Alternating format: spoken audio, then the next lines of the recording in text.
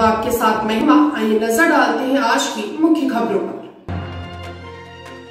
Operation Ganga के तहत Budapest से रवाना हुई छठी उड़ान 240 भारतीय नागरिकों को वापस लेकर आ रही दिल्ली। पीएम मोदी ने दी पूर्व प्रधानमंत्री मोरारजी देसाई को श्रद्धांजलि, बोले उन्होंने जीवन में हमेशा ईमानदारी पर ज़ोर दिया। पीएम मोदी ने बुलाई उच्च स्तरीय बैठक किरण रिजिजू हडीपुरी समेत रोमानिया, हंगरी और पोलैंड जाएँगे केंद्र सरकार के कई मंत्री। यूक्रेन को घातक स्टिंगर मिसाइल देगा अमेरिका, सटीक निशाने के साथ हेलीकॉप्टरों को मार गिराने में सक्षम।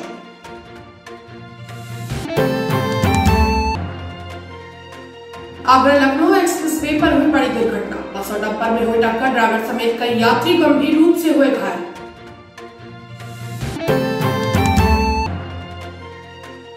बड़ी राजा भैया की मुश्किलें, कुंडा में एस सी एक्ट के तहत एफआईआर हुई दर्ज गुलशन यादव के खिलाफ भी केस हुआ दर्ज।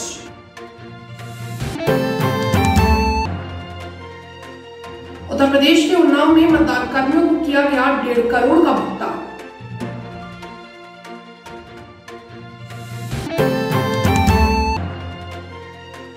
यूक्रेन में एमबीबीएस की पढ़ाई कर रहे अलीगढ़ की बेटी सकुशल पहुँची घर। प्रधानमंत्री नरेंद्र मोदी का जताया आभार।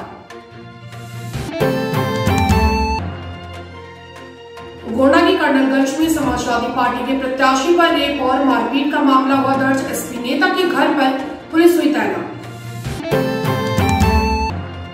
गुरुग्राम में नगर निगम के सर्वे में अवैध और असुरक्षित इमारतों की हुई पहचान। पाँच सौ पचपन बिल्डिंग हो सकती है सील।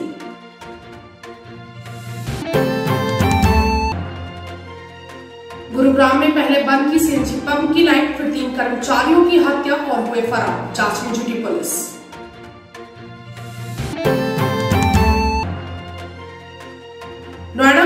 मई तक ढा दिया जाएगा। ट्विन टावर नोएडा प्राधिकरण ने सुप्रीम कोर्ट में दी जानकारी।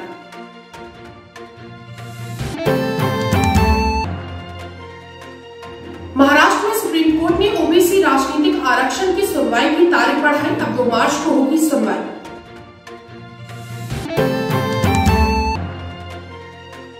मराठा आरक्षण की मांग के लिए छत्रपति शिवाजी महाराज के वंशज संभाजी राजे के अनशन का आज तीसरा दिन गृह मंत्री ने की मुलाकात।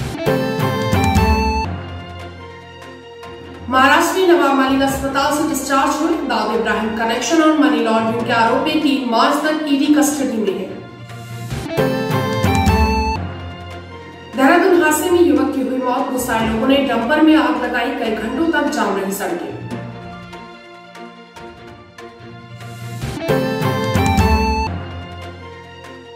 मध्य प्रदेश के दमोह में बोरवेल में गिरे बच्चे की मौत, करीब छह घंटे तक चला रेस्क्यू ऑपरेशन।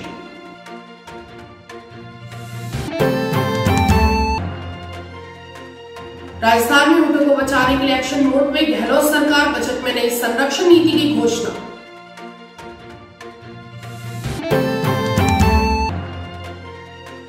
राजस्थान के भीलवाड़ा में टैक्स चोरी के बड़े रैकेट का हुआ भांडाफोड़। चार लाख की रिश्वत लेते एडिशनल कमिश्नर हुआ गिरफ़्तार।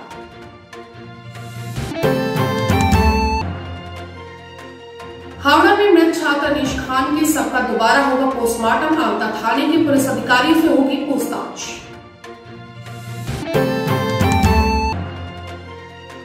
इस साल 9 से 11 मार्च तक लगेगा पूसा कृषि विज्ञान मेला, स्मार्ट और ऑर्गेनिक फ़ार्मिंग पर होगा फोकस।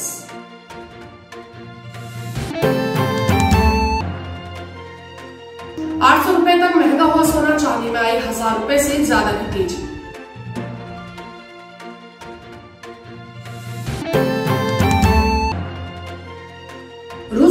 प्रतिबंधों का सिलसिला जारी नहीं होगा। फीफा का कोई मैच इंग्लैंड ने भी किया बहिष्कार।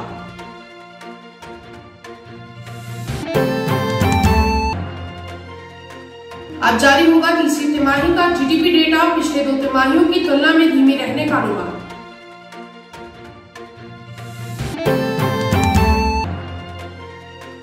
जलसा से विद्या बालन और शफाली साहब का फ़र्स्ट लुक हुआ रिवील। अमेजोन पर 18 मार्च को होने जा रही है फ़िल्म रिलीज़। हमारे साथ बने रहने के लिए देखते रहिए अखंड भारत न्यूज़। नमस्कार।